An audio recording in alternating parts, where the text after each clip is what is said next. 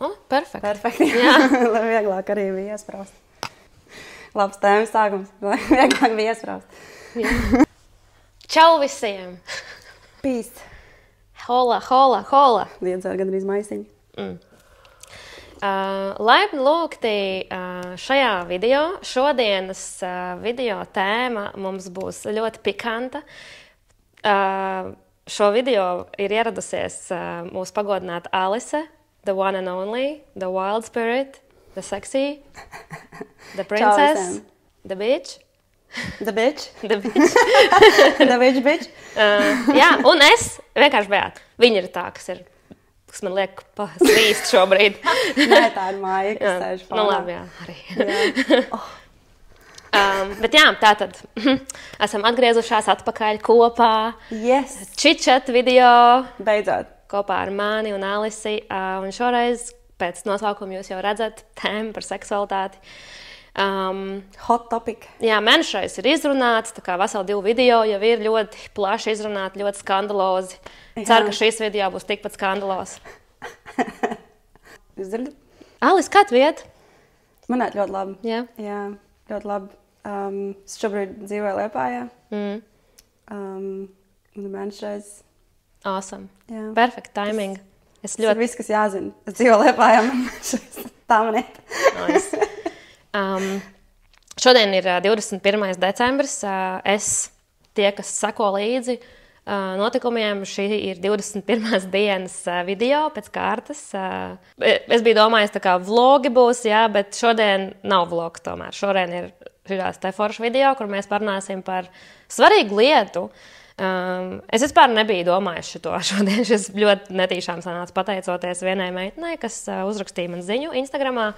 Es biju ielikusi vienkārši uh, storijā uh, vienkārši par seksualitāti tēmas, un viena meitene uzrakstīja man privātu mēsīju, un um, sapratu, to, ka jātaisa ir vienkārši lielāks video, un Alisa man palīdzēs, un, um, un uh, Māja arī droši kaut ko var iemest. Jā, jā. Jo vairāk viedokļu, jo labāk. Mm. Lielāk, Un Indika tepat gulēs, mums nezinu, viņu redzēt. Man liekas, ka ne. Man Ah, liekas, bišķiņ viņš var redzēt. Oh. Man liekas, ka Indika es pacēlās. sa saplūst ar dīvānu. Man liekas, es arī saplūstu ar dīvānu. Jā, Alis, varbūt tu vari pastāstīt. Nu, mēs zinām to, kā, ar, kā var atpazīt, kad ir augsts, jā, ķermenim, kad ir karsts, kad, ir, kad tu paliec slāpja vai kad tu esi ļoti sausa. Jā, nu, saproti, ko es Jā, runāju. protams, par uzbudinājumu.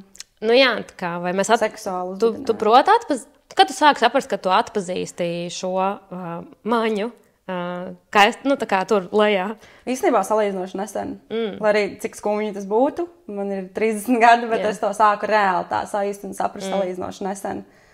Kad es um, tiešām iedziļinājos um, sevī, savā vulvā, savā vaģinā, savā kosmiskajā vāvrītē. Es, es Jā, tiešām man patīk, jā, man patīk, kosmiskā ka es- esmu teikusi, jā. Man Labs. ļoti patīk, kad es redzēju, ka tu Instagramā to biji uzrakstījis. Man bija tāds, yeah, my girl, kosmiskā High vāvrī. five. Un, uh, jā, es um, pēc tam mums bija problēmas. Uh, es negribu tā, tās teikt problēmas, negribu izmantot to vārdu. Mums bija situācijas. Situācijas. jā, mums bija situācijas attiecībās ar vīru, ka es saprotu, nu, ka kaut kas nav kārtībā mm. ar manu. Ar, ar manu seksualitāti. Ar, Zemes libido. Jā, jā, jā, ar manu, nu, tā kā es ar prātu gribu, mm. -hmm. nu, tā kā seksu, es gribu mm -hmm. mīlēties, bet uh, man ķermenis tā kā pasaka, nē, nebūs tā kā mm. -hmm. off vienkārši. Nu, kad, tad es sāku domāt, uh, es sāku pirmkārt domāt, um, varbūt man ir kaut kāda problēma, nu, tā kā, ka, ka man ir problēma ķermenim vai kaut kas tam līdzīgs, bet es saprotu, ka es vienkārši nepazīstu vispār savu vagīnu. Jā. Es nezinu, tā kā es nu, sāku pievērst uzmanību, kas man uzbudina vairāk, mm. -hmm. un kas man neuzbudina. Mm -hmm. Nē, sākumā pievērst uzmanību īstenībā, kas man neuzbudina. Jā. Lai es izslēgtu to ārā, to, kas man neuzbudina. Un tad es sāku pievērst uzmanību tam, kas man uzbudina vairāk. Kas tev neuzbudina? Kas tev izsit ārā no vaiba? No tā um, vaiba. Jūs zināt, par ko es runāju? Ja? No tā vaiba. Ir pat bijis arī, ka seksa laikā nosit vaibu, piemēram, kaut kāds. Um, Um, zinu, to, ka vīrieši bieži vien mēģina panākt, ka sievietes skvirto. Mm. Ka tas ir tāds arī, o, tur porno skaties, Jā. yeah. tur sievietes skvirto. Tā kā mm. tas ir kaut kāds apmēram next level orgasms, kad Jā. tu skvirto, un tad vīrieši cenšas panākt, lai mm. tu skvirto. tā Kā, un man, ar mani tas nenotiek. Mm. Man ir orgasms, tā kā Jā. es ritīgi izbaudu to mm. visu, bet es neskvirtoju. Vienkārši ir tādi eksperimentētāji. Tad ir bijis tā, ka mēs kaut ko tādu mīlējāmies, un viņš kaut ko pasakā, tur kaut ko, o, to gandrīz bija skvirts vai kaut ko tam līdzīgu. Tāds, what? Tā tiešām tagad tas bija jāprasa. Un, kā, nu, es jau saprotu, ka vīriešiem jau arī tā, tā ideja par, par seksu un par daudz ko nāk no porņikiem. Tāpēc mm -hmm. arī viņi domā, ka sievietes uzbūvē. Kas ir skvirts? Pastāstiet. Es pat nezinu, nezinu. Tāpēc, ka man tas, tas ir tā kā, nu, tu, uh, tā kā tu, ka tu es ne, es, izšļāz ārā kaut ko. Kaut ko, jā, bet es īsti neesmu iedziļinājusies tajā. Es, es nezinu, tāpēc, ka man tas man, man nav bijis vispār aktuāli. Tas. Es, piemēram, esmu skatījusies, es skatos arī porniks, mm. un es skatos, un man, es redzu, man nav tā, ka es gribu to sasniegt, mm. tāpēc, ka beigas nav senstumī mm -hmm. kaut kādā ziņā, un tāpēc es tam vispār nepievēršu uzmanību, jo mm. man, ir, man ir labi. Kā, un, yeah. Un es nesaprotu, kāpēc man jā, kaut kas tur jā, lai man šļācās kaut kas ārā. Lai es nezinu, jā. Nu, Atgriežoties atpakaļ pie tā, kas tev neuzbudina. Nu, tas man tā kā neuzbudina. Tas, kad, kad tu kaut ko gaidi no manis, jā. tā, tā, tā daļa, ka tu gaidi. Uh, ka cilvēks gaida, ka es tagad atbildīšu kaut kādām ekspektācijām mm -hmm. no tā, kā, kādam vajadzētu būt tam seksam. Mm -hmm. Un tad, protams, ir visādas ikdienas lietas, kas var ļoti nosist uzbudinājumu, piemēram, nu, nezinu, nepievērst uzmanību man vai. Um, Es pat, ne, es pat nezinu, kā to nosaukt, bet tas kaut kādas tādas, tas pats ir varbūt kaut kādas frāzes, um, grūti tagad tā mm. uzreiz ir atcerēties. Šajā brīdī man liekas, īstenībā vieglāk ir pateikt, kas man uzbudina. Bet vēl neejam pie tā. Jā, ok. Um. Bet tas var būt, tas var būt kas, tas var būt, mm. tā var būt kaut kāda frāze, ko mm. cilvēks pasaka, vai uh, jā, ka tu nu, nepievērš gana uzmanību, vai mm -hmm. kā, gribi ātri kaut ko dabūt. Kā, steiga. Ste, jā, jā, jā. jā steiga, jā. Ka vajag tā kā tādu ātrāk, labāk. Jā, jā, jā. Man, man, kā, nu, man patīk, tā kā ātrs un skarbs seks, tas man arī patīk, mm -hmm. bet overall man patīk uh, emocijas, uh, pieskārieni, mm -hmm. sajūtas. Un, Tas ir ķermeniskā, jā, jā, jā, ķermeniskā jā. Mhm. tuvība un, un Bet, tas uh, viss. Man neuzbudina, tad, kad cilvēks grib kaut ko tādu, vai tagad es tur zinu, es, piemēram, bieži vien staigāju kailu pa māju, mm -hmm. man, nu, man patīk staigāt mm -hmm. kailu pa māju. Un tad tas nav signāls mm -hmm. vīrietim, kas tagad tevi gribu, vai ka es esmu gatava tagad yeah. kaut kam. Nē, es vienkārši staigāju kailu. Yeah. Un uh, tas man arī nosit, mm -hmm. uh, ka man neuzbudina tas, ka es, es nevaru. Tā ideja par to. Jā, ka es, kā, wow. es nevaru īsti, nejūtos īsti kā brīva vai, mm -hmm. vai ne, kā droši, vai mm -hmm. kas var būt. Es zinu, kas var būt, bet tas iekšējais kaut kāds erors, nezinu, mm -hmm. no pagātnes, ka man liekas, ka ja es būšu kaila vai ja es saģērbšos seksīgāk vai ko, nu, tad man tā kā pienākums dot to seksu tam vīrietim. Mm -hmm. nu, un viņš arī, protams, at, attiecīgi arī uzvedās, ka mm -hmm. es esmu mhm. kaila, jo mm -hmm. viņam atkal ir savs, pilnīgi sava cita pasaule. Un, jā, tāpēc vajag komunicēt attiecībās šād, šādas lietas, lai nav tāda erora. Es arī padalīšos ar to kaut kādu savu um, sapratni par to, kā es sapratu to, ka es arī man ir tā maiņa tur lejā, ka es jūtu kaut ko, kas notiek. Arī salīdzinoši nesen, um, kaut kad kopš man sākās attiecības ar manu Gati. Jā. Čau. Uh, čau, Gati. Paldies, tev, ka ienāc manā dzīvē. Jā, yeah, awesome. Nezinu, vai viņš skatās par šo video, bet čau. Jā, skatīsies. Um, labi tēma, viņam patīk. Jā, viņam patīk. Reāli līdz 25 gadu vecumam es pat vēl ilgāk īstenībā arī attiecībās jau esot ar Gati. Uh, Uh, es nezināju vispār, ko, ko nozīmē orgasms. Es to piedzīvoju tikai no 25 gadu vecumā, kaut tāds 25, 26 gadu vecumā. Es tikai piedzīvoju reāli uh, savu pirmo orgasmu. Jo pirms tam man bija pilnīgi cita ideja. Es nesapratu vispār, kas tas ir. Jo ne, man nebija neviens, it kā tā tēma bija atvērta, es varēju runāt par to, bet nekad tas netika aktualizēts starp ne manām draudzenēm.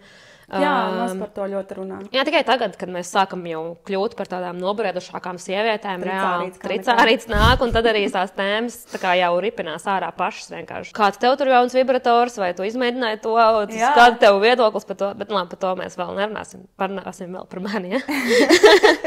es parunāšu. Um, es arī ļoti ilgi nejūtos ērti runāt vispār par to. Uh, man šis video ir kaut kas pilnīgi tāds, ok, tā kā mēneša reizes, tagad jārunā par kaut ko tālāk. Viņš ir ārpus komforta zonas. Man nav vairs tā, tā kā ārpus komforta zona. Laikam es esmu nu, sapratusi to savu power, kas ir manī, Jā. kas ir manā vāverītē. Reāli.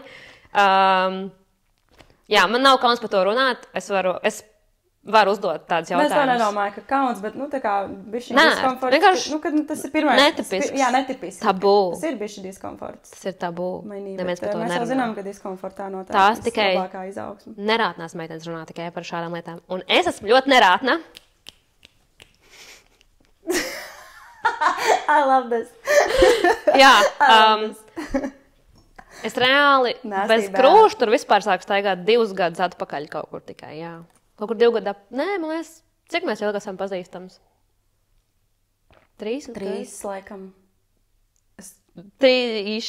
yeah. Jā, un tad trīs sākam, kaut kad tik ilgi es apmēram bez krūša tur reāli staigāju. Jā, pilnīgi jāpadzerās. Mm. Bet jā, es uh, reāli sāku apzināties to, kad es esmu uzbudināta un kad es Es beigt neesmu. vienkārši. Tā kā es, sorry, es mēģinu tev skatīties uz tevi, kad tu runā, bet to vienkārši tas kā- Jā, viņš ir nice. Paldies Nice. Dīnai, man viņa uzdāvināja to. Jā. Prekli. See? Ritīgi labs. Nice, ne? Jā, ritīgi. Nu, jā, es sāku saprast to, kad, uh, piemēram, kad es neesmu uzbudināta, jo es daudz domāju.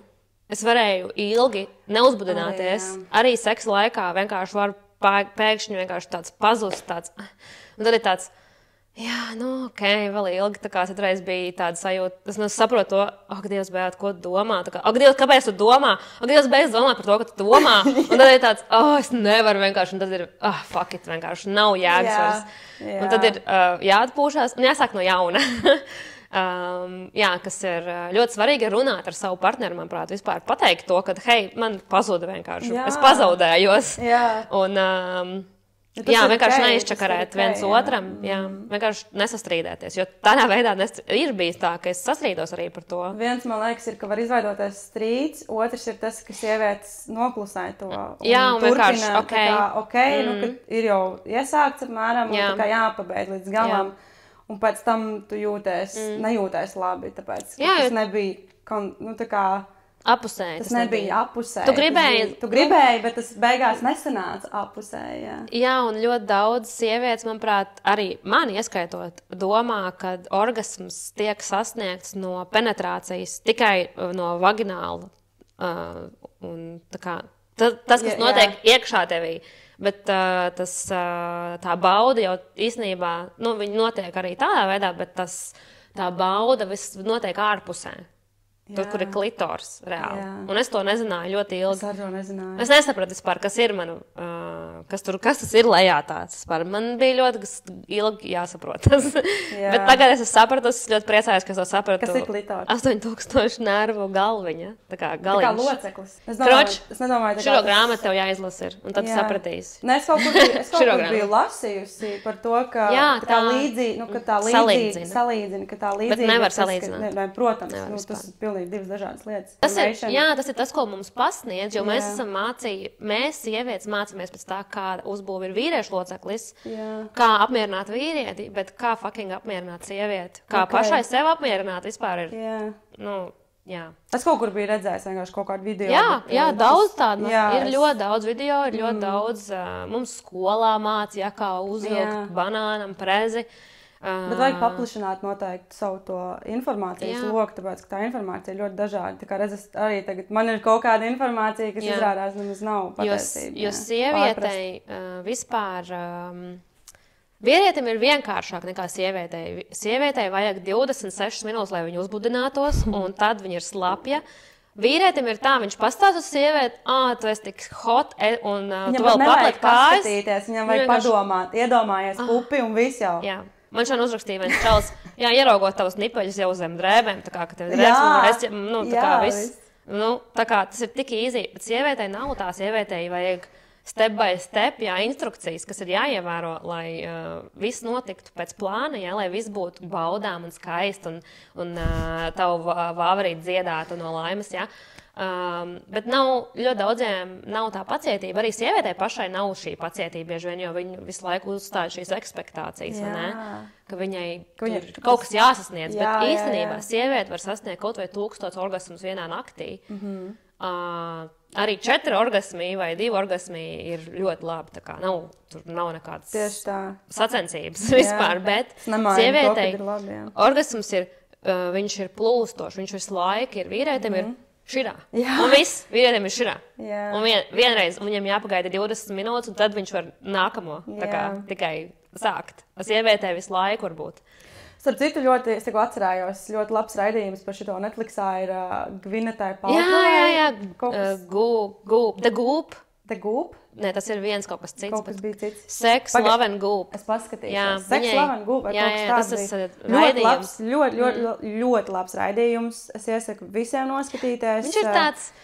Viņš ir foršs, tur viņš Jā, ir viņš ir patiess, foršs, Viņš ir ļoti jā. vienkāršs, ļoti īsts. Tāds, tā kā, tāds, ka tu redzi tos cilvēkus, ka tur nu, nav aktieri kaut kādi nolasīti, bet ka tie cilvēki iet cauri tai pieredzēji un ļoti Jā, interesanti skatīties. bet cilvēkiem, kuriem ir kaut kādi stereotipi, nu, viņi, es neiesaku skatīties uh, ar stereotipiem, vienkārši nolikt stereotipus malā un uh, pastīties uz to ar, ar citām acīm, bez judgment, tā kā bez nosodījuma. Vienkārši ar tīru ir prātu. grūts, ir, Jā. es, es, es pieņemu, ka daudziem būtu grūti skatīties kaut ko tādu. Viņi domā, ah, fuck, it, kaut kādi nojūkušies cilvēki vienkārši tur uh, tantrā un vēl tur kaut kādi tur rāpo pa zemu un vēl sazina kas. Bet, nu, Seks, love and goop Jā, saucās, jā. jā. Uh, bet uh, es uzdevu jautājumu uh, saviem Instagram sekotājiem, kas uh, viņus uh, nosit no uzbudinājuma. Tāpēc es nolasīšu pāris, uh, kas, tas, kas, tad, kas tur ir. Un tā tad pirmais uh, dienas gaisma nosit vaibu. Mm, okay. nu, tas katram sapūties vēders problēmas ģimenē. Kretīni, nepareizi pieskārieni un vārdi, ja labi nebučojas. Protams, tas ir svarīgi. jā. Protams, tas ir svarīgi. Ja tu slikti bučojies, tad Kā? tāds necieņa no partnera. Mhm, mhm. Kas eh, nu, necieņa no partnera varētu būt? Tā ir terija. Tā ir ne? terija, terija vienkārši. Au! Blakus istabā gaudo. Negatīvas enerģijas agresija. À, negatīvas enerģijas, komats agresija. Nu, ja tev piespiež kaut ko darīt, tad tu vispār nevari nemaz sagaidīt Jā. neko uh, labāku. Rushing it, jā, sasteigt, tu jau mm. minēji to arī. Necieņa, ja vīrietis ir kašķīgs un nepacietīgs, ja pārāk steidz nu, tas tas pats, kas Jā, Tas man liekas tāds populārākais, jā. tā steiga vispār, jā, jo sievietē jau. nav. Reku vēl viens. Ja vīrietis rada sajūtu, ka vot ātri būs un viss, bet mums jau gribas ar priekšspēli un tā tālāk. Jā, Uh, kad otra puse neieklausās un dara, kā tam šķiet, ka tev negribas. Nu, jā, tas ir par to, ka mēs nerunājam. Ka Jā, mēs nestāstām, kas, starpā, kas jā, patīk. Jā. Seks bez priekšspēles, kas liekas vienkārši egoistiski nodračīšana tikai ar sievieti. labs salīdzinājums. Good point. Jā, very good point. Uh, bet tā ir, man liekas, uh, nu, vīriet, vīrietim vajag uh, jau tevi tā kā penetratingot jau visu dienu, Jā, reāli. jau Pamosties, jau. labrīt, puķīt. Es Jā. nesaku to, ka tagad uh, tā ir vienīga, tas ir vienīgais veids, katrai sievietei varbūt tur, nezinu, tur kaut vai nomazgāt trauki, ja, kurš tu, piemēram, nu, Jā, vīrietis. tas arī ir, Nomazgāt trauku izdarīt ko- Jā. Es vēl gribu pieminēt arī mīlestības valodas. Tas arī Jā. ļoti lielu ietekmi dod. Um, kad jūs attiecībās iemācāties viens otru to mīlestības mm. valodu, un tad arī tas vīrietis, ja viņš zina tās sievietes mm. mīlestības valodu, tad viņš arī var uz to bišķi fokusēties mm. vairāk. Un tad arī tur pietiks pāris vienkārši mazas lietiņas, nu, ka tā sieviete jūt, ka viņi, viņai mm. pievērš uzmanību un ka par viņu rūpējās tādā ziņā, ka viņas vajadzības tiek liktas kā prioritāte. Arī Jā. nevis tikai, ka vīrietis tikai grib, lai beigtu, nu, kā, ka viņam vienalga, ko tā sieviete ir. Un, uh, tas arī ļoti palīdz tā mīlestības valoda. Iz, izzināt, kas ir uh, otra mīlestības valoda. Jā, būt atklātam. jā, būt jā, būt atklātam. atklātam.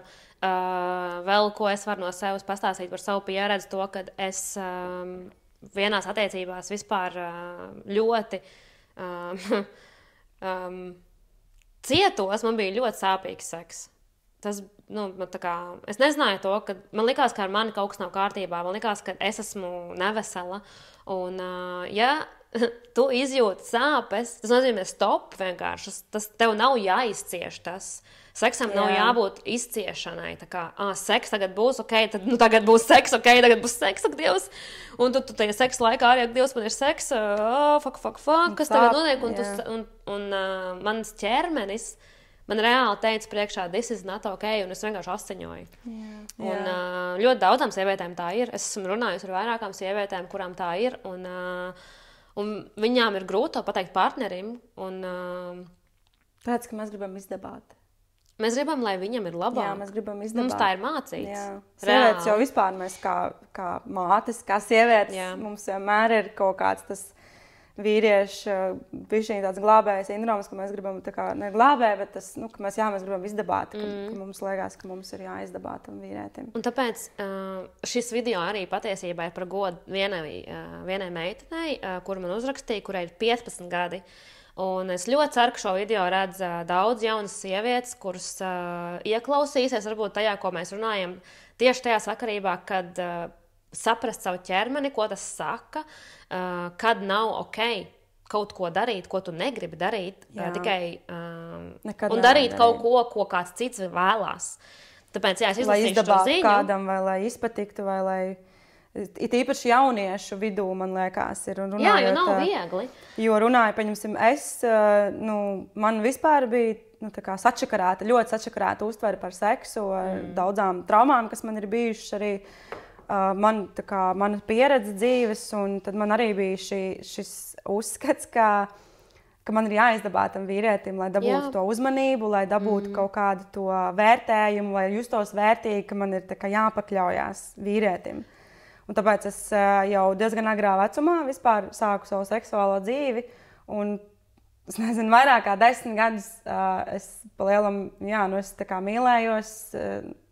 Ne vairāk kā desmit gadus, bet kaut kādus piecus gadus apmēram no tā brīža, kad es zaudēju nevainību.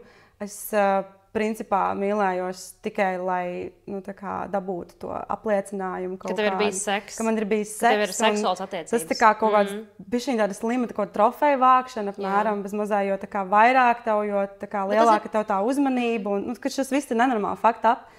Un tas ir tieši jaunām meitenēm, tā, kurām tā kā drastiski trūkst vispār seksuālā izglītība un trūkst vispār mm. kā saprašana par to, kas vispār ir seks.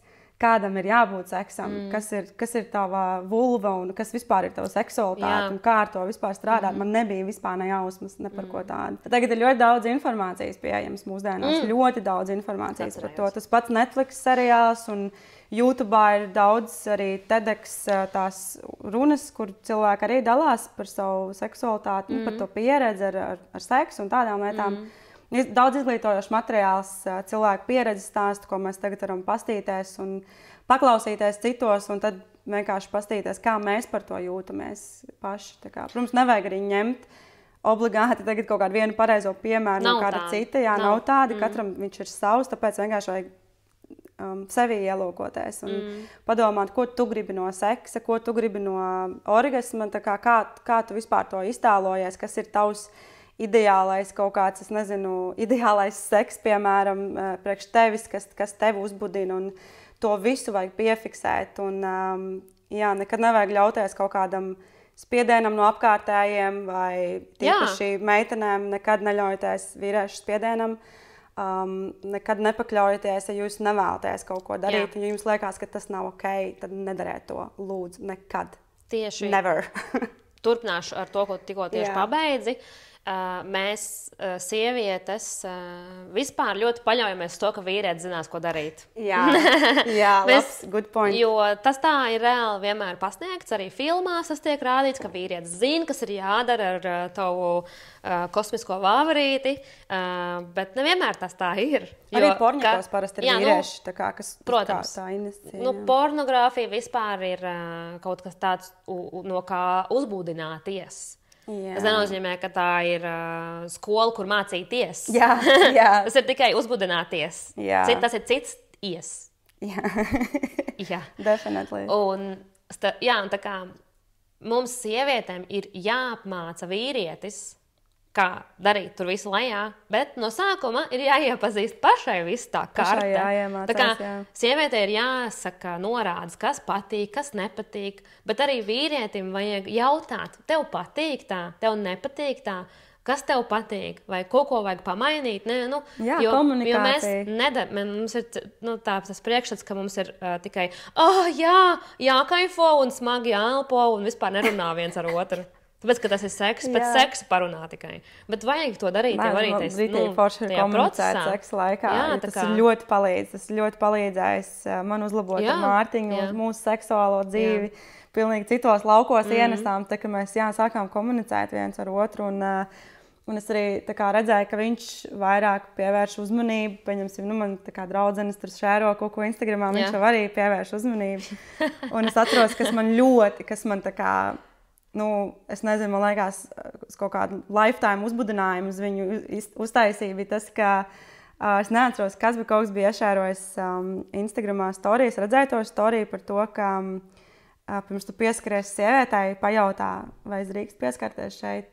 Nu, tā kā Oh, kādās wow. intīmajās zonās, piemēram, tu Jā. pienāc, drīkst pieskarties tam krūtīm. Okay. Vai es drīkst pieskarties tam dibenam? Protams, nice. Ne, nevienmēr viņš to tad arī pienāk un tāpat vien to Protams. izdara. Bet, Bet tas ir nodomu. jā, tā jā, un tad ir tās reizes, un tad ir tā kā, tas. Tā kā viņš pirmo reizi to izdarīja, man vienkārši tā kā tāds wow! Jā. Tik forši. Vie, Jā. tad viena maza lietiņa, kas Jā. tev reāli vienkārši parāda, ka tas cilvēks, nu, jā, ka viņš ieklausās un ka viņš ir uh, atvērts mm. mācīties uh, manu karti. jā, tieši tā. Un tas arī mani vairāk atvēra, mm. parādīt viņam un uzticēties, ka es varu uzticēties, ka es zinu, mm. ka tu izdarīsi visu pēc saviem labākajiem nodomiem. Tā kā, jā, tas ļoti Tas ir palīdz. brīnišķīgi. Ņemsim piemēru no šī Alises piemēra, ja? un uh, Jā, arī paldies sievietes, Mārtiņam saviem vīriešiem to pašu darīt. Bet um, uh, es izlasīju tātad šo ziņu, ko man atsūtīja šī meitene, kurai ir 15 gadi. Viņa atsūtīja Instagramā. Holā! Kā rīkoties jaunietim, meitenei, kā man, piemēram, iestātos pirmajās seksuālajās attiecībās ar cilvēku? Man ir nedaudz tāda sajūta, ka nebūšu saņēmusies līdz pat 30. Haha. Kaut man tikai 15. Tagad vēl neesmu atradusi ar ko. Ko tu ieteiktu meitenēm, lai vairāk nodrošinātos un būtu easy stadijā? Nevēlos sabojāt savu pusī un savas pirmās attiecības ar seksu dzīvi.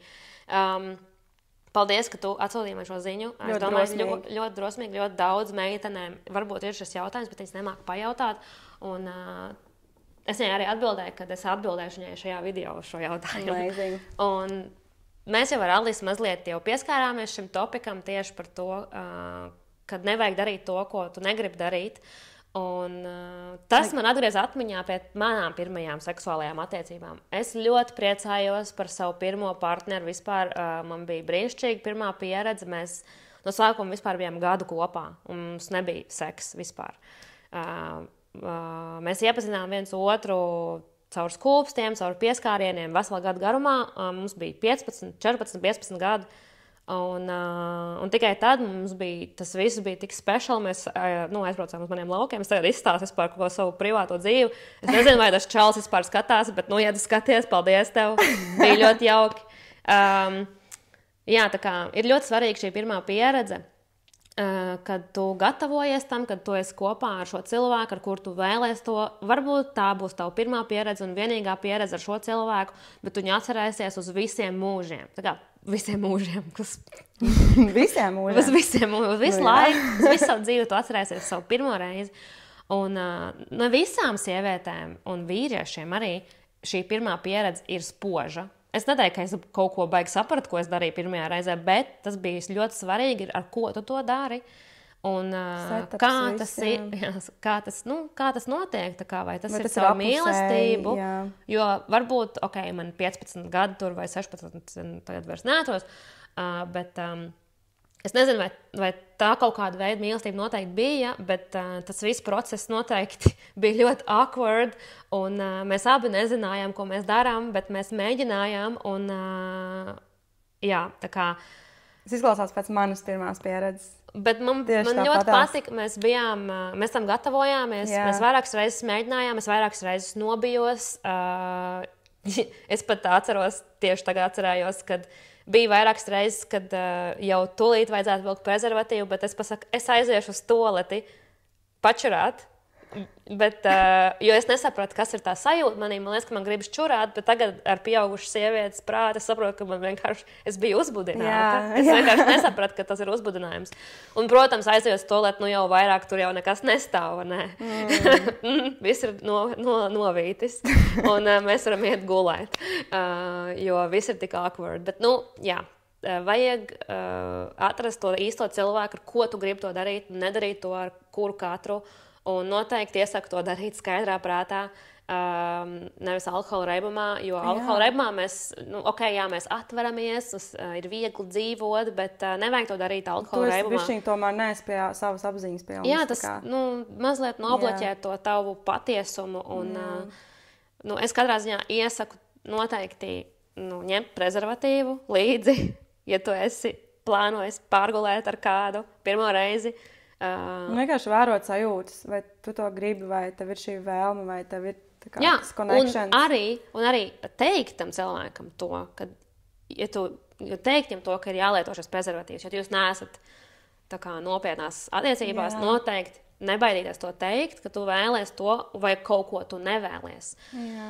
Un, uh, jā. Man liekas, ka uh, es gribēju piebilst uzreiz, pirmais, kas man nāk prātā, kā, kā sagatavoties. Pieņemsim, tas ir viens, protams, prezervatīvs ļoti svarīgi, vērot, kā jūties, vai tu esi parasti tam gatavs.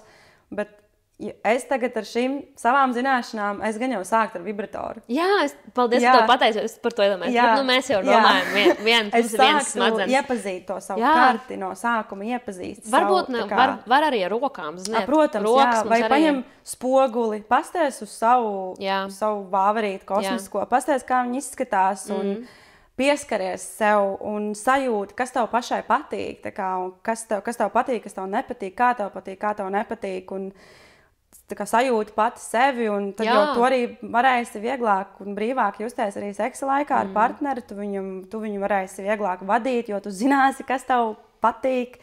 Un, um, jā, vienkārši iepazīt sevi vairāk šajā ziņā, man liekas, tas ļoti, ļoti noderētu mm. pirmajās reizēs. Mm. Bet es arī priecājos, kad stāstīju, man, es atcerējos arī par savu pirmo reizi. Viņa arī bija ļoti awkward, kā arī tieši tā kā tu teici, bet tas, mēs arī bijām skaidrā, mēs bijām kopā mm. gandrīz gadu, kaut septiņus mēnešus, astoņus. Yeah. Un abi bijām jaunavas. Kā, wow. Tas bija, jā, tas nu, jā, bija tik cringe. Jā, tas tas bija kritiski cringe, bet es to atceros kā pozitīvu pieredzi. Tāpēc, ka, jā, noteikti. Jā, nu, cik es varēju tajā. Varēja būt daudz sliktāk katrā ziņā ar manu background, ar to, kāda mana dzīve, nu, kā man tas uh, vide, kurā es augu, varēja būt daudz trakāk. Es ļoti priecājos. Es tieši īstenībā šodien, nezinu, kāpēc no rīta iedomājos par to puisi. Un, uh, Ah, nē, tas bija meditācijas. Jā, ļoti weird. Tas bija meditācijas laikā. Tā kā man atnāca atmiņā šī šī pieredze. Es zināju, un, ka mēs šodien filmēsim guess, video, vai? Jā, laikam. Un, uh, un es tikko atcerējos, vienkārši to likās mm. weird. Bet man atnāca šī, um, šī atmiņa un tāda tā kā pozitīva atmiņa, ka es kā, pie sevis, uh, es nezinu, varbūt, varbūt tu skaties uh, šo video, tad čau.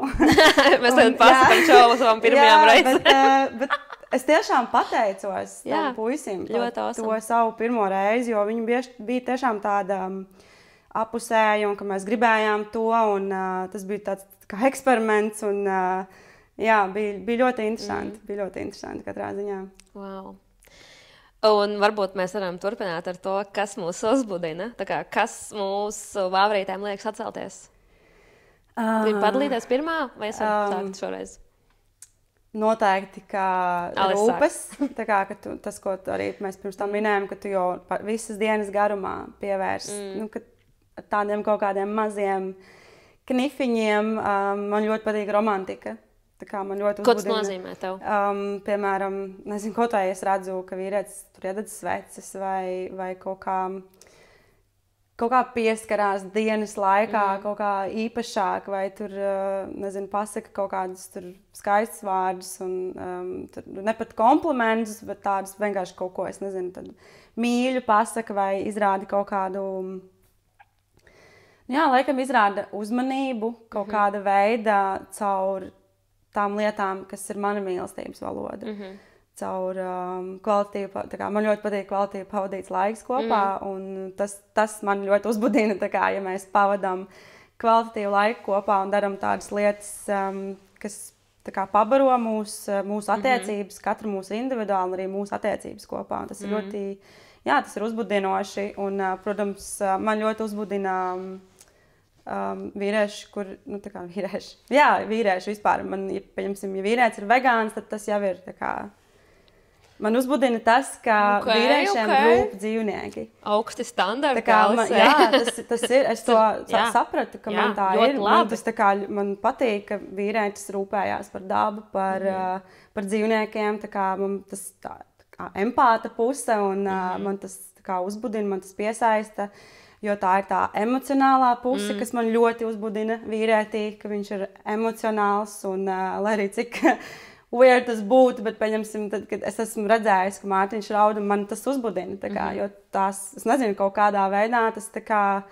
Tā, tā atklāšanās, Jā. tāda pilnīga tā kā, brīvība, Vulnerable. tā kā, jā, Kā ir latviski tas? ievainojamība, ka tu atveries pilnībā un uh, t- ka es varu uzticēties. Mm -hmm. Tas viss tādas visas lietas ļoti svarīgas un runāšana. Un, uh, tas, ko es arī teicu, ka viņš kā, ieklausās arī um, ieklausās, ko es tā kā, manās vēlmēs. Un, uh, Un tad tādas mazas lietiņas, kā pieņemsim, paprasti, vai es tev drīkst tur pieskarties, mm. vai, vai kaut kas tamlīdzīgs. Tas, um, jā, tas ir uzbudinoši. Inteliģence un, un uh, empātija. Tas, nice. man liekas, ir vis, vis tāds svarīgākais. Nu, izklausās, ka tu esi sapratusi to, kas tev reāli uzbudina. Jā, Mani uzbudina atkal. ā, Es nesen sāku uzbudināties no sevis. Kā. oh, jā arī, arī es, jā. tas ir kaut kas jauns priekš manis. Uh, es, uh, man bija agrāk nērti domāt par to, ka es uzbudinu sevi. Nu, pats sevi. Es pastos, es apģērbjos kaut kā, es skatos sevi, piemēram, apakšvaļā vai bez apakšvaļas. Es skatos uz savu augumu. Man reāli patīk redzēt to, ko es redzu. Un, uh, un tagad ar vien vairāk un vairāk es saprotu to, ka man patīk mans būtības, piemēram, man patīk, kā viņš izstāsta, ka viņš ir liels. Um, man patīk uh, kaut kāds apģērbs, kurš, sa, kurš kaut kādā, kaut, es nezinu, kaut vai šis krekliņš Jā. man patīk ļoti. Vai ne? Um, jā, un, piemēram, kad es dejoju, es uzbudinos no kustībām. Tā kā kaut kādas konkrētas kustības man Gurnu uzbudina. kustības. Man gurnu kustības uzbudina. Jā, nu, tur tas normāli. Tas viss šī ir tā vieta, kas ir reāli epicentrs Jā, jutekliskumam un tai uh, seksualitātei. Bet viss ķermenis jau ir viens liels uh, klitors. Man liekas, Es domāju, ka mēs runājam tikai par to, kas mūs uzbudina vīriešos. Nē, mēs pa vidu ko. Man vispār man, man ļoti patīk. Um, piemēram, man ļoti uzbudina citreiz, uh, kad man gads atsūta uh, kaut kādu ziņu. Uh, kad viņš, piemēram, ir domājis par mani. Tas, Jā. kaut gan mēs esam viens no otra tik tālu, tas man reāli liek, nu, man reāli saceļās spalviņas. Ja? Tā kā īziņa, vienkārši atsūta īziņu. Piebrēst lūpiņas. Tas nav kam sacelties. Nu, nē, nu, Piebriest. ķips sacelties. Piebrēst. Mēs Saceļās. sakam, piebrēst, piebrēst Jā, lūpiņas. nu stāv. Citreiz es zinu, ka man ir draugs, kas saka, man, sā, man stāv reāli. Jā, Tāpēc, ka vīrietim reāli stāv, tas ir fiziski, tu redzi to bet sievietē piebrēst. Piebriest. Piebrēst Jā, tur vagīnu. mainās krāsas, Jā, piebriest. kaut kas. Mm. Jā, varvīgs piebrēdas krāsas. vagīna. Mēs parunāsim par uh, vagīnu un par vulvu. Mēs parunāsim, es jums Jā. parādīšu. Bildīgi, Jā, jā, jā, bildīgi, ok. awesome bildīgi. Bet, um, jā, par to, Kas tev uzbudina? kas man uzbudina, nu, es pastāstīju, tu ļoti daudz pastāstīji, nu, No līdzīgi. vīriešu puses. No vīriešu Tu puses. pateici no sieviešu puses, jo tas, ko Jā. tu teici, ko es nepieminēju arī Jā. par sevi, tad, kad es sāku OnlyFans saturu taisīt un kad es sāku dejot ā, savos video, Jā, taisīt īstenībā, bildes. jā. Un es pēc tam skatos, man tāds, wow! Jā, tā kā jā, bāds jā, gribētu šito pamēģināt. Palasīšu par to, ko uzbudina, kas uzbudina, kā uzbudinās. Jā, kas uzbudina citas sekotājas, kas man šodien uzrakstīja. Duša, starp citu, jā, vannā, kad es eju. I jā. feel horny. jā. Jā. Ērta veļiņa, fiziski pieskārieni no simpātiska vīrieša. Mm -hmm, mm -hmm. Pieskārieni, priekšspēle, tas ir ļoti svarīgi. Ķermeņa masāža. Wow. Oh, jā, jā ķermeņa masāža jā. man arī uzbudina. jā, Definitely. skūpsti. Maigi pieskārieni, mīlestības enerģija. Pieskārieni, enerģija, uzmanība, atmosfēra. Hmm. Deep emotional intimacy. Jā. Jā, kad, piemēram, ir kaut kādas sarunas, Jā. tādas tik dziļas sarunas vai acu skatiens. Tas, ko es saku, jā, kad Jā. es redzu to ievainojamību cilvēkā, to patiesumu. Mm, maigums, cieņa. Jā, tas ļoti svarīgi. Man patīk. Un pēdējais mans mīļākais. Nu. Kails vīrietis ar zeķiem kājās. This is Ok, epic. ok. I love it. I love it. Šis ir tā kā. I guess, uh, jā, vai ne? Bet it depends, kādas zeķes kājās. jā, varbūt kaut kādas hot zeķes. jā, jā, kaut kādas vegāniskas zeķes, piemēram. Indi, kur dabūju olīvi? Mazulis izmet uz grīdas? Jā, gan jau mazliet, mazliet patīk. Indi, tev paveicās. Viņam kaut kāds fetišs uz olīvām. Viņš pirmie ah, to olīvu ļoti tur rīvējās ritīgi. Tas viņu uzbudina. olīvas uzbudina. Ma mazulis uzbudinās ar olīvām. Man Definitīvi. reāli uzbudina šokolāde ar zemenēm. Oh, es nezinu, kas tas ir pa prikolu, kāpēc tāds stereotipisks ēdiens. Tas Bet ir šokolāde. Šokolāde ir bišķiņ. šokolāde, jā, jā, viņi tev atver tavu mīlestības jā, centru. You know jā, what I mean? Kā? Maitu zini tagad, jā. Kakao. Mēs šodien dzersim kakao. Mēs šodien arī dzersim jā. kakao, jo šodien ir 21. 12. 2021. datums. Ziemas salgrieži. Cik ir pulkstenis? Neredzu. Ap, tu redzi. 20, 20. What? Labs. Labs, jā. Labs, jā. Vēl stundu laika mums ir un vienu minūti. Um, ideāli. Bet jā, tā kā. Uzspēlējam spēli. Vai uzspēlējam spēli? Vai tu izvēlies? Nē, māja izvēlas mums kārtu. O, vai māja izvēlas? Iesaistam māju. Jā, nu. jā. Pagaidzi, izņemšu. Sorry. Tur, Mēs spēlēsim. Pagaidzi, parādīt. Regāti, pimpīši virsū. Šī ir Diana Zande spēle. Parunāsim par seksu un seksualitāti. 69 jautājumi precētiem un neprecētiem, brīvajiem un aizņemtajiem profesionāļiem un amatieriem. Uh, nu, mums ar Alisu būs jautri. Iztēlojies, ka tev ir 90 gadu, un tu domā par to savas dzīves brīdi, kurā es šobrīd to es vakar izvilku jau. Jā. Tātad iztēlojamies, ja mums ir 90 gadu. Okay. Mēs zinām savu seksuālo dzīvi, mums ir tik liela pieredze seksā, kā mm -hmm. nekad. Mm -hmm. Ko tu, ņemot vērā savu pieredzi, ieteiktu mums darīt šodien, lai mēs kā pāris justu seksuālās attiecības kā patīkamu un svarīgu dzīves daļu? Meditēt seksa laikā meditatīvais seks. Jā, wow. episki. Kā tas notiek? Um, kad seks ir lēns, viņš nav sasteigts mm -hmm. un uh, tiek veikts dziļas ieelpas un izelpas mm -hmm. kā meditācijas laikā, un ka tu pilnīgi visu uzmanību koncentrē tikai uz to mirkli. Tu nedomā neko, tu nedomā, kā es izskatos, vai kā, nu, kā, mm -hmm. nedomā par tādām lietām, vai mm -hmm. kā es tagad kustos, vai es, ka seks nav performance, ka tas ir process, Jā. lai kuru tev jābauda mhm. vienkārši. Mm -hmm. Tā nav kaut kāda. Nezinu, um, ka tev tagad dos kaut kādu goda medaļu par Jā. to, ka tu labi izskatīsies, vai par to, ka tev tur būs uh, viss, tur, nezinu, mm -hmm. izbalināts ānus vai kaut kas mm -hmm. tamlīdzīgs. Nē, tu vienkārši izbaudi, un tas ir tas uh, meditatīvais mm -hmm. seks, mazliet pat, varbūt pat tantrisks, jo nu, tur arī ir tās enerģijas, ka mm. jūs mhm. abi elpojat, un tīpaši tā elpa ir kaut kādā veidā sinhrona, un tad, nu, tur tas viss vienkārši tā saplūst, ka tas ir pilnīgi next, next level. Nice. Um, next level orgasms. Jā. Nu, es pievienošos šim viedoklim. Es savos 90 gados iesaku nesteigties un uh, iedziļināties klitoru stimulācijā. Uh, un saprast to, ka nav jāspiež spēcīgi, bet jākustās arī maigi.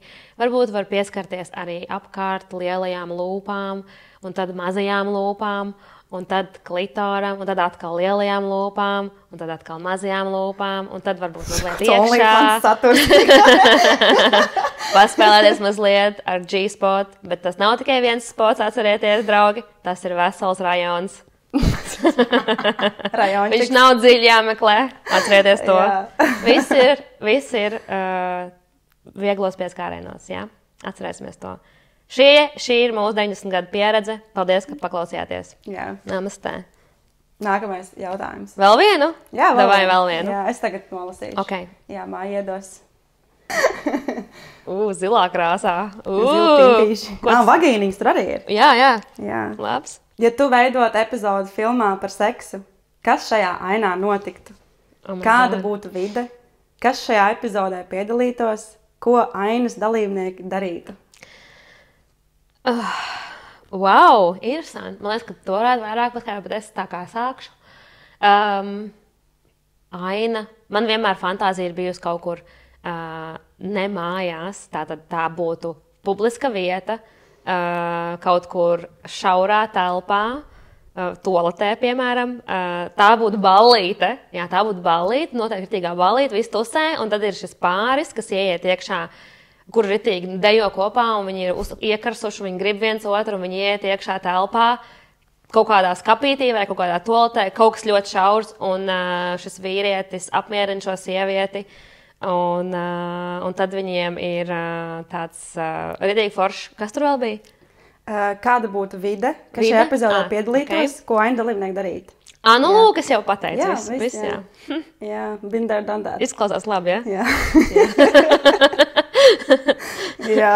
Um, es veidoju, es īstenībā nu, ļoti interesants jautājums, tāpēc ka es jau domāju par šādu Jā, filmu, tā kā veidot par seksu ar savu vīru, un mēs esam par to runājuši. Mm. Un uh, runājot arī par pornikiem, uh, arī porno saitos īstenībā var atrast uh, tas, ko tu meklē. Tu atradīsi to, ko tu meklē. Mm -hmm. Un uh, tu vari atrast arī tantrisku seksu, pieņemsim. Mm -hmm. uh, es zinu, ka ir viens pāris, tagad nepateikšu, kā viņus sauc, neatceros, bet uh, viņi taisa nu, kā por pornogrāfisku saturu, viņi liek tos porno saitos, bet uh, un, tas seks ir. Um, estētisks. Jā, nu nevis, ne tikai nē, ne, ne Acīm baudāms? Bet, uh, nē. Nē? Es pat neteiktu, ka tas ir acīm baudāms, jo tur, Ok. okay. tur maz kas notiek. Tas, es ne, tas nav nekas tāds, ko es gribētu darīt. Es gribētu Jā. kaut ko acīm baudām, kaut Jā. ko ar to savienojumā. Plus vēl man patīk tādi tuvie kadri, mm. -hmm. um, kur redz ķermeņus mm -hmm. tā ļoti, ļoti izteikti, un mm -hmm. kad redz, ka ir pieskārieni. Un, mm -hmm. uh, nu, jā, smieklīgi, tā, kad tu stāstīji to savu, uh, kad, kā tu veidot filmu, es uzreiz atcerējos epizodi. No savas dzīves. No savas dzīves. Wow. es godīgi sakot, neesmu nekad to darījis publiskā Jā. vietā. Man ir. Es pārāk daudz domāju. Jā. Jā, man laikam tieši kaut kā patīk tas Jā. publiskās vietās darīt. Mārtiņš ir biežāk tas, kurš uh, tā kā pasaka nē. Jā. Nu, es esmu tā, Jā. pasakā, nē. Tā Kā, jā. tas ir kaut kāds kinky, nezinu, tāds kaut Tas kāds ir ekstra, kaut kas jā. ekstra tāds. Uh, Darīt jā. to kaut kur, kur to nevar darīt. Jā, jā, jā. Jā. Nu, es esmu atkal tas, kuram Tev izdzīvo priekšā. Sirdstāvs, jā, man bija. Jā, Tev varbūt vispār. vajadzēja tagad, de, Tagad 90 tikai- tagad 90 sāksies. gadu vecumā, tev varbūt būs nevis uh, tur, o, meditatīvs seks vai kaut kas tāds, bet Fast and Furious Beata. mašīnā. Pēc stūres. Tieši tā. Vajag, vajag Jā. bišķiņ uh, patrakot arī. Jā. Jā, vajag bišķi patrakot. Vajag, vajag. Nu, es mācos. Es mācos sev iepazīt. Tagad es šogad tikai esmu iepazinusies ar uh, seksu rotaļlietām. Um, tas man bija ļoti ilgs vispār laiks. uh, Saņemties un sadūšoties. Es ļoti ilgi skatījos intīmu preču veikalu arī. Es esmu bija. Es esmu bijusi uz seksijas stila, to pie Vikijas, uz, uh, uz semināru. Es esmu organizējusi šo semināru, kur mēs satiekamies un turam rokās visādi veidi šos ten dildo un visu kaut ko. Tas īstenībā arī ir labs atgādinājums cilvēkiem. Jā, ka varat citu. doties arī uz seksijas tālu. Jā, tur ir- stūris. Jā, Vik, Viki, Viktorija. Nē, Viki. Viki. Jā. Jā. Viki tā stāst. Viki. divas stundas iet šis vid video, šis seminārs. Es nezinu, kā ir tagad. eh, Droši vien jau kā arī notiek, ka arī pandēmijas, pandēmija jau vairs nav. Viņam arī ir uh, YouTube vispār kanāls. Jā, vispār, jā. Par Viņiem ir tādām tēmām. Ļoti, ļoti kvalitatīvu video. Iesaku iečakot seksijas stila YouTube kanāls ar citu. Jā. Um, bet jā, es uh, tikai šogad es saņēmos un uh, atvēru savu, tā kā atvēru savu durvis vaļā. Pandoras lādi. Pandoras lādi. Jā, un man ir divas, tā, ne, man ir trīs tagad. Ooh, Um, Fast and Furious. Pirmais, pirmā man bija stikla. Uh, man uzdāvināja Only Pitchy vibes. Viņa man sūtīja, es sūtīju piltuvus, un viņa man uzdāvināja vēl šo stikla dildo vienkārši Ū, for fun. stikla. Jā, ir uh, Nice. karstā laikā ļoti patīkami. Jā, Viņš es ir tāds stiklā šito um, batplagu. Mm. Jā, kurš tumšās, tumsās spīd. Tumšā. Tumsās spīd. Jā. Lai var redzēt. Nu, lūk, un uh, es mācos iepazīt šo pasauli. Šobrīd es joprojām kāpu sev pāri, vēl joprojām kāpu sev pāri. Lai arī man ļoti patīk, es joprojām mēģinu saprast. Tas nenotiek tā uzreiz, vajag dot savu laiku. Jā. Nav vis, visiem, visiem nav identiski tomēr tā pieredze. Redz, citiem cilvēkiem vispār 40, 50 gados varbūt tikai atklājās šī pasaule. Citiem agrāk, kas ir vispār izcili. Un, nu, nu, jā, labāk ā, atklāt vispār to savā dzīves laikā, nekā nekad neatklāt. Um, tā kā jā, es uh, noteikti iesaku nebaidīties sev izpētīt. Un tagad mēs pāriesim pie interesantākās daļas. Es parādīšu to bildīti, ko es Davai. tev rādīju un tev Davai. rādīju. Uh, es tātad uh, lasu šobrīd grāmatu Pusī, uh, Reclamation, viņa ir angliski. Uh, Regīna Tomas Hauvera. Uh, viņu var atrast uh, Instagramā kā Mama Džina. Uh, viņa ir sieviete ar uh, ļoti brīvu uh, prātu. Ļoti, viņa ir ļoti atvērta. Kā vispār pastoties to Instagram kontu, kāds viņai viņš ir, viņa ir superīgi vienkārši. Jāiečako. Es uh, ļoti iedvesmojoši sieviete savā vecumā, kas viņa ir tagad. Uh, Tik brīva un tik seksīga, un viņa ļaujās tai savai seksualitātei. Tātad, ko es jums rādīšu? Es tātad šodien lasu uh, Clitorasī saucās uh, šis temats. Klito, es nezinu, kā latviešu pārtulkot, bet tēma par klitoru, kā klitora iepazīšana. Un te ir uh, uh, pavad, kā guide tour of your pussy, kā guide tour. Un es pienākšu tuvāk, ja? Tu vari nofočēt pēc tam. Uh... Es, es parādīšu šobrīd, un uh, lūk, šeit ir šī te skaistā lietiņa, jā. Un uh, šeit ir ļoti daudz kas, bet um, es... Es eju apakaļ.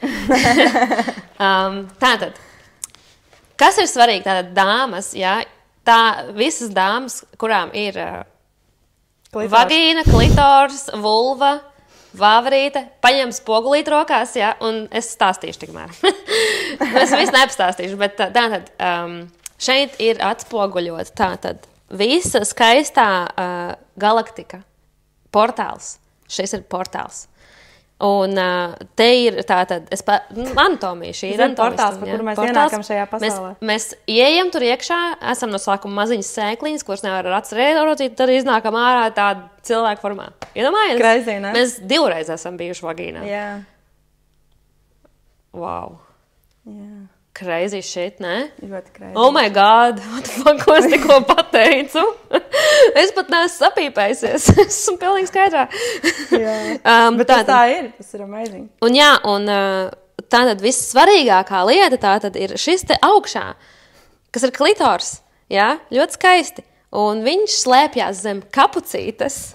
Es iesaku tiešām uh, vispār at, ierakstīt kaut vai Google uh, šo te anatomiju. Um, Papētīt, jā. papētīt to, Kas ir kas tas ir. Jebkuram sieviete, vīrietis. Uh, jo Vīrietim arī vajadzētu. Vīrietim pētīt. vajadzētu saprast, Jā, šo, noteikti. kas ir tas, kas ir sievietei starp kājām.